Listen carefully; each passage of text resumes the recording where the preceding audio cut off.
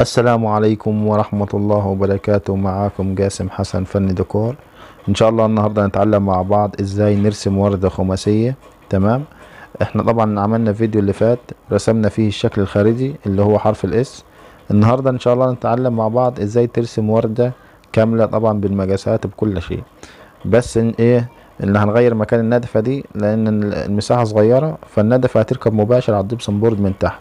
عشان لو جات صغيرة جات كبيرة ايا كان العميل هيجيبها هيركبها إيه على ال gypsum board من تحت. طبعا دي بعد ما الشغل ما خلص الديكور نسقناه طبعا على المساحة الموجودة عندنا. ما شاء الله ما فيش أي غلطة. يا ريت لو أنت أول مرة تشوف قناتنا أو أول مرة تشوف شغلنا يا ريت ما تنساش الاشتراك تضغط like للفيديو نشوف مراحل العمل مع بعض. طبعا إحنا أول خطوة جبناها جبنا لوحين ونومناهم على السيراميك. تمام. وأكسنا طول وعرض. بعد كده جبنا زاوية وقسنا بردل على خمسة وتسعين سم ولفينا دايرة إيه؟ كاملة. تاني خطوة عشان تعملها تقسم من خط النص لحد آخر الدايرة كام؟ اللي هي الخمسة وتسعين هتديك سبعة وأربعين ونص. وتروح معلم عليها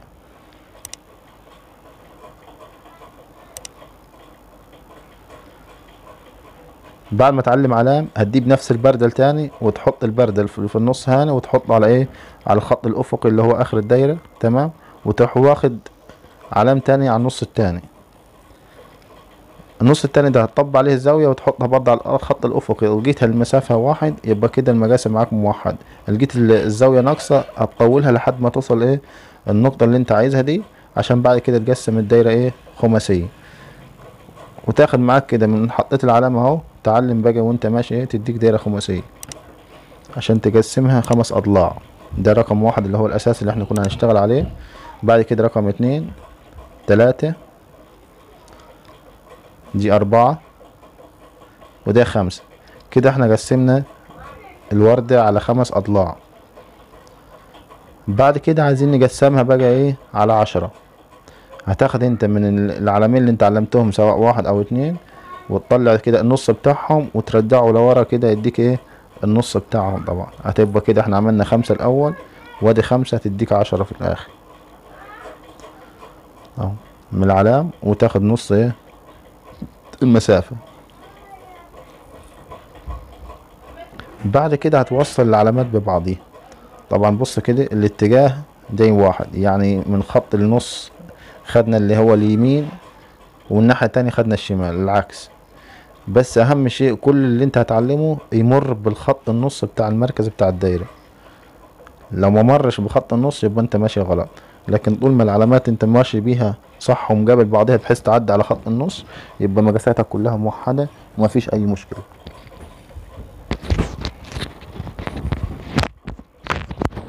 طبعا نعد معانا كده ده رقم واحد.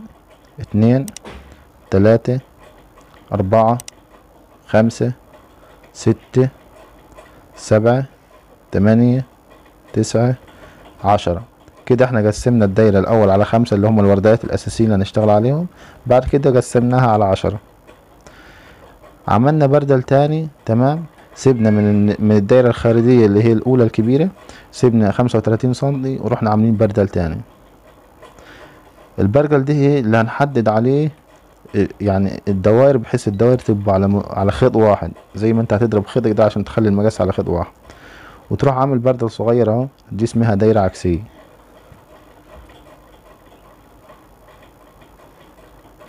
طبعا الدايرة دي عشان تلفها وتحس إن أنت ماشي مظبوط لازم تكون طالعة من الدايرة اللي أنت عملتها الكبيرة اللي هي التانية.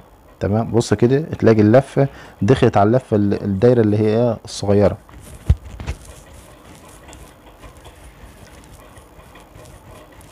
ده يعتبر إيه سن الورقة بتاعت الوردة.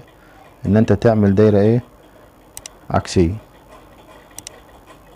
اهو اتنين نفس المقاس نفس الشغل موحد كله هيبقى على إيه؟ على الخمس اضلاع اللي هما الوردات.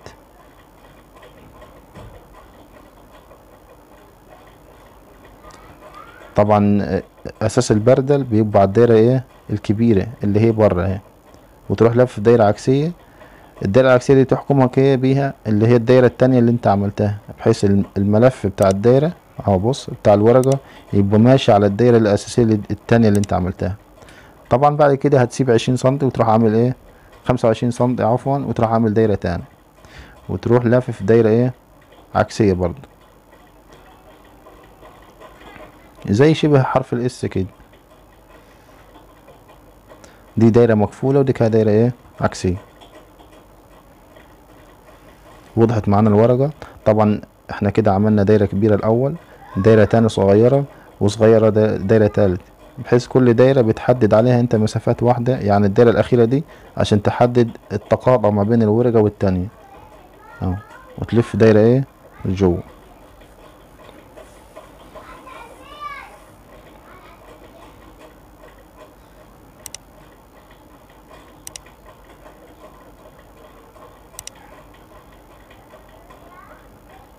كده ظهرت معانا الوردة اهي. كده خمس وردات. المسافات كل وردة موحدة زي اختها. مفيش أي اختلاف خالص غير لو إحنا هنعمل هنفرغ دايرة في النص لكن إحنا مش هنفرغ دايرة لأن المسافة صغيرة. بعد كده بعد ما خلصنا دايرتها طبعا إيه هننشر الوردة اللي إحنا حددناها على العلامات بتاعتنا.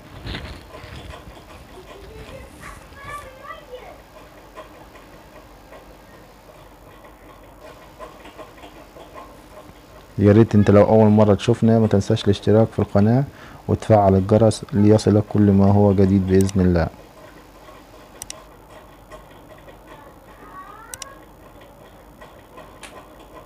يا ريت الناس تتفاعل معانا يا جماعة اللايك يعني بس.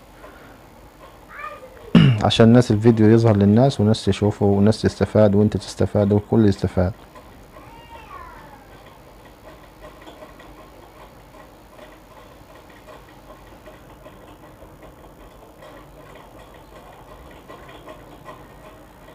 طبعا بعد ما فرغنا الوردة بتاعتنا طلعناها تمام؟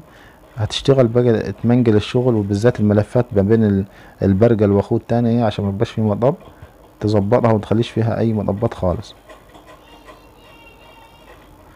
دي الوردة بتاعتنا إحنا. خمس وردات كلهم زي بعض.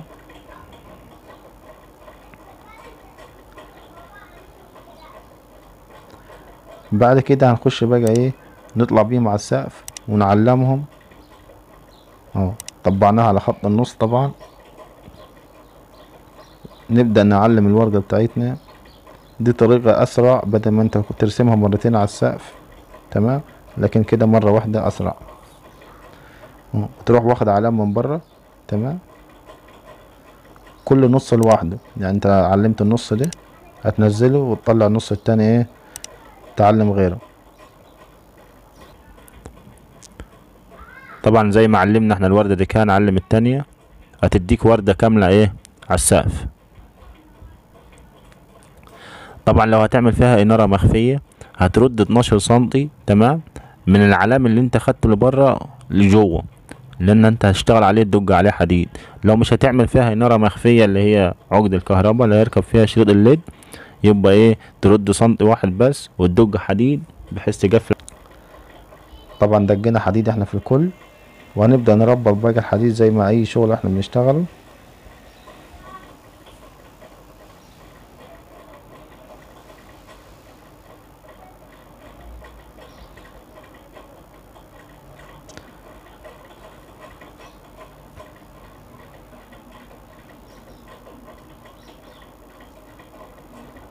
هنخش على المرحلة اللي بعد كده إيه؟ اللي هي الجوايم بتاعتنا ايا كان النزول بتاعه. إحنا طبعا هنخلي النزول كل واحد يعني السقف الخارجي زي الداخلي. تمام؟ فاحنا حطينا الجوايم بتاعتنا وجبنا ال- الوزنة بتاعتنا على الوزن اللي بره. تمام؟ وشدينا زاوية تحت وعملنا حساب الندفة ركبنا حديد عريضة اهو عشان لو الندفة هنركبها على الجبسون بورد مباشر نعرف نسمرها. بعد كده هتسمر إيه؟ الوردة بتاعتك كل نص لوحده زي ما انت شايف كده. النص يكون مخدم على خط النص بالظبط. آه كده ظهرت معانا. وتبدأ تسمر إيه؟ الوردة بتاعتك في الجوائم اللي أنت خدتها فوق.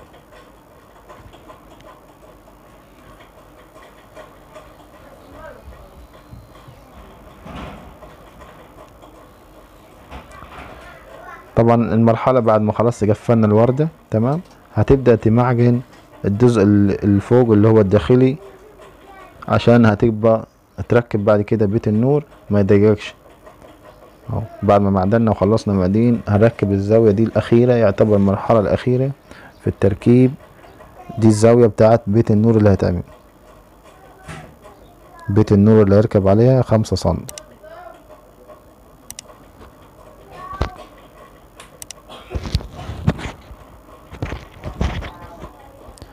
وادي الخمسة سنتي طبعا إيه ركبناها في الوردة بالكامل.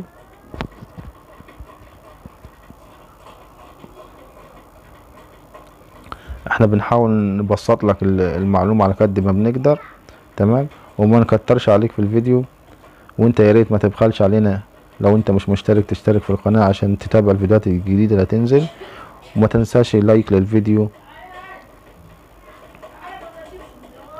بعد كده هنخش على مرحلة المعجون وهي يعتبر المرحلة الأخيرة تركيب ال metal والشرايط بتاعتها.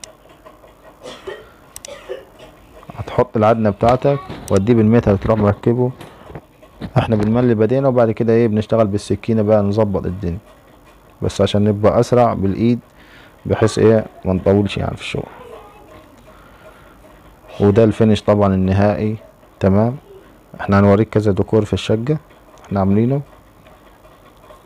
ما شاء الله تبارك الرحمن ما فيش أي كلام يعني.